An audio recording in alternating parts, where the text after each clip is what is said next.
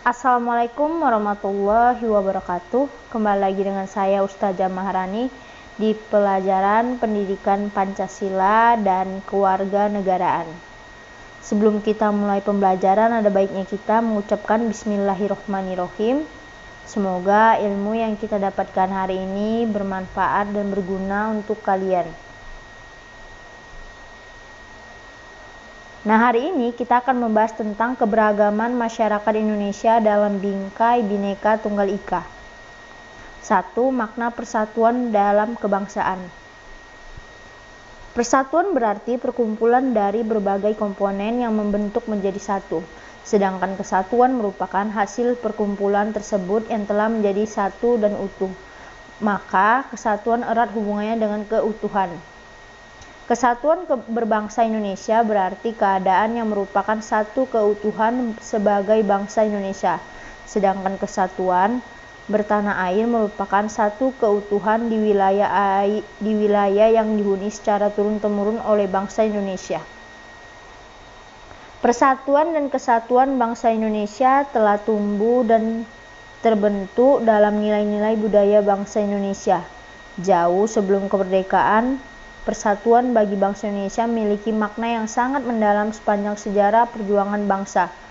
Karena berkat, berkat persatuan dan kesatuan dari segenap elemen bangsalah kita dapat mengusir penjajah, mendirikan negara atas kehendak bangsa sendiri, berjuang mempertahankan kemerdekaan serta mengisi kemerdekaan dengan upaya membangun pembangunan nasional. Walaupun kondisi masyarakat Indonesia beragam suku bangsa, agama, ras, budaya, dan adat istiadatnya, namun tetap merupakan keluarga besar bangsa Indonesia di bawah naungan semboyan Bhinneka Tunggal Ika.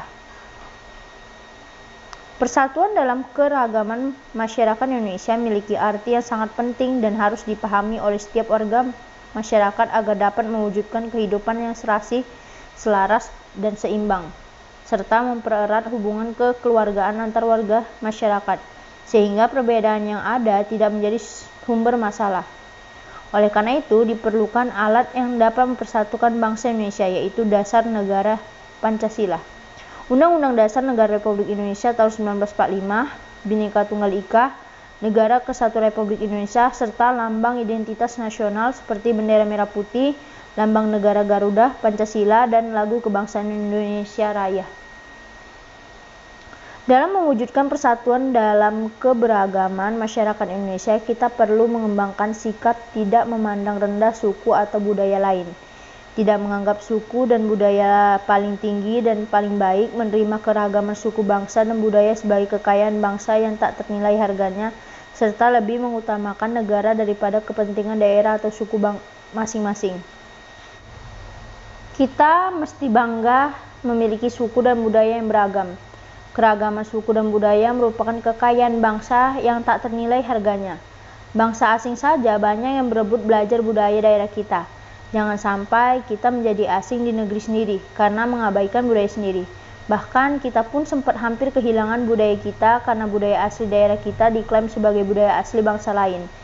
Sesama bangsa Indonesia, kita harus berbahu-membahu memperkokoh semangat persatuan dan mempertahankan segala apa yang dimiliki oleh bangsa Indonesia baik kekayaan alam maupun kekayaan budaya nasional supaya kedaulatan dan keutuhan wilayah negara kesatuan Republik Indonesia tetap terpelihara. Tidak tercerai berai dengan memisahkan diri atau diklaim oleh bangsa lain. Seperti pepatah mengatakan bersatu kita teguh, bercerai kita runtuh. Tugas, carilah dari internet atau media pembelajaran lainnya tentang budaya Indonesia yang pernah diklaim menjadi milik negara lain lalu berikan pendapat kalian tentang masalah itu.